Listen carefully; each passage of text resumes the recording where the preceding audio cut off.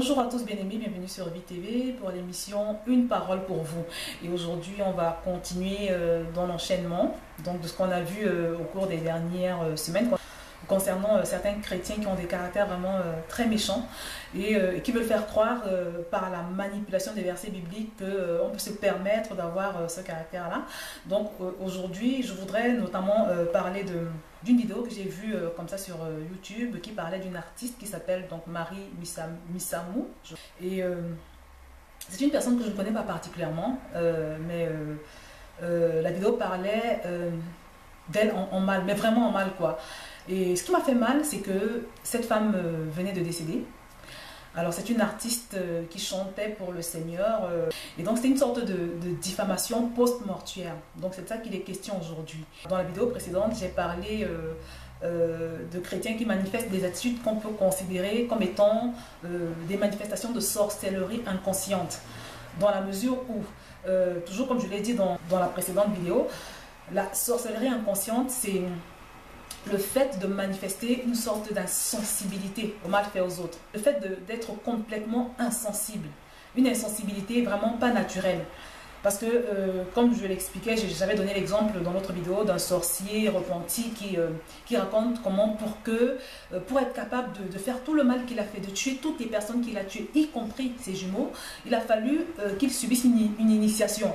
Donc, il a dû recevoir un transfert d'une puissance qui le rendait donc capable de faire beaucoup de méchanceté sans vraiment en éprouver le moindre remords. Alors, quand vous voyez des gens, je, rappelle brièvement, quand vous voyez des gens manifester beaucoup de méchanceté, des gens qui commettent des crimes, des viols, des choses vraiment pas bien, qui sont très méchants, qui font beaucoup de mal, sont éprouvés de remords. En général, c'est des personnes qui sont sous influence démoniaque. Donc c'est une influence démoniaque.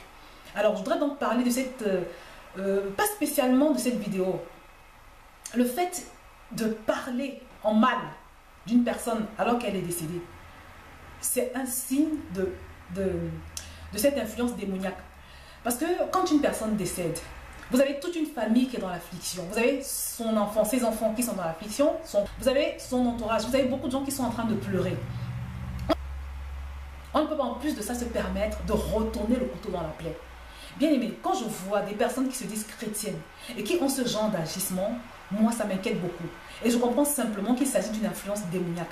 Parce que même dans le monde, on a le sens de l'éthique. On sait qu'il y a des choses qui ne se font pas. On sait qu'il y a des choses, il y a des attitudes, il y a des actions qui sont indécentes. Alors quelqu'un qui se dit enfant de Dieu, qui se dit disciple de Jésus, et qui pose ce, genre d'actions indécentes, qui vont contre l'éthique humaine, ce genre d'actions inhumaines, euh, mon frère et ma soeur, je suis là pour te dire aujourd'hui que c'est des exemples à ne pas suivre. Parce qu'il y a beaucoup de choses qui se disent aujourd'hui sur Internet. Il y a beaucoup de, gens qui font des choses sur, Internet au nom de Jésus. Et, comme certains chrétiens sont faibles et manquent de discernement, euh, ces chrétiens faibles copient ces, modèles qu'il ne faut surtout pas copier. Parce que comme je le dis toujours bien aimé, quand vous vous connectez à une personne, vous lisez ses messages, vous écoutez ses vidéos, vous vous l'écoutez d'une façon ou d'une autre. Bien aimé, que vous le vouliez ou non, vous recevez un transfert qui que ce soit que tu écoutes, c'est parce que tu as l'habitude d'écouter. Peut-être c'est des musiques, c'est des, des messages, c'est des prédications, c'est quelqu'un sur, sur YouTube, un YouTuber. Sache que il y a un transfert que tu reçois. Alors, quelqu'un qui est sous influence démoniaque et qui fait des choses qui ne se font pas, même si cette personne manipule la parole de Dieu, même, même si cette personne sort des versets bibliques de son contexte pour essayer de justifier le mal qu'elle fait aux autres, bien aimé, quand tu écoutes une telle personne, tu reçois un transfert à ton tour démoniaque. Cette personne est sous influence démoniaque et toi, tu reçois un transfert. Et à un moment donné, toi, tu te retrouves en train de reproduire les mêmes méchancetés. Et c'est là où il y a le danger. Et c'est là où il y a la perdition. C'est pour ça que je dis que YouTube n'est pas l'endroit idéal pour écouter euh, des messages euh, bibliques. Parce que c'est malheureusement, c'est un fourre-tout. Il y a de très bons messages sur YouTube. Il y a aussi des choses qui sont dangereuses, qui peuvent te donner la gastro spirituelle. Donc ce n'est pas toute nourriture que tu trouves sur YouTube que tu dois manger. Sinon, tu es exposé à la gastro-spirituelle, comme je l'ai dit. Tu peux même en mourir spirituellement. Donc, bien aimé, faites attention. J'ai eu à cœur de faire rapidement ce partage. Je ne vais pas m'étendre sur le sujet parce que cette personne, je ne la connaissais pas personnellement. Je l'ai connue par un de mes amis de Facebook. Euh, qui a partagé des choses sur le de cette personne. Apparemment, elle la connaissait. Moi, je ne la connaissais pas.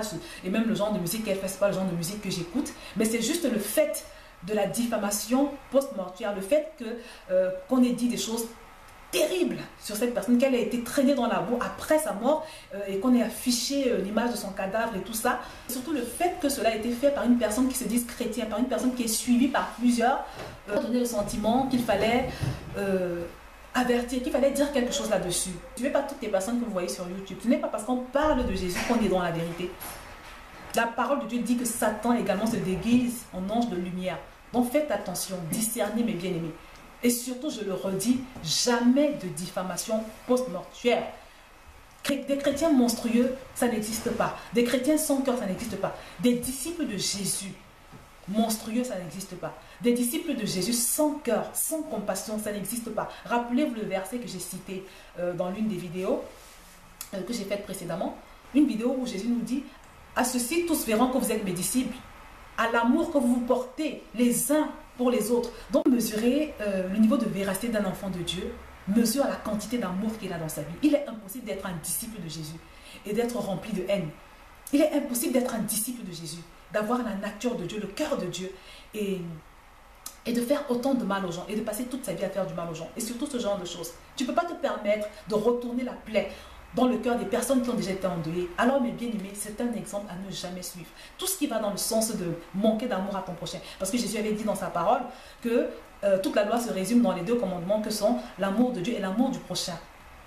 Il dit aussi dans sa parole que ce que vous voulez que les gens fassent pour vous, faites-le de même pour eux. Donc, si quelqu'un n'est pas dans cette dimension, la parole de Dieu nous dit qu'on reconnaît un arbre à ses fruits. Quelqu'un qui produit des fruits de haine, de méchanceté, de destruction, euh, je suis désolée, ne peut pas être inspiré euh, par le Saint-Esprit, ne peut pas agir sous l'inspiration du Saint-Esprit. Donc, bien aimé, discerner. On reconnaît un arbre à ses fruits.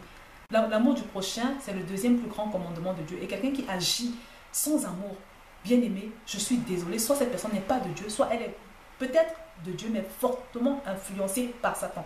Donc, euh, mes bien-aimés, une manifestation de sorcellerie à ne pas suivre. Et une fois de plus, ne suivez pas tout ce que vous trouvez sur Internet, sur YouTube.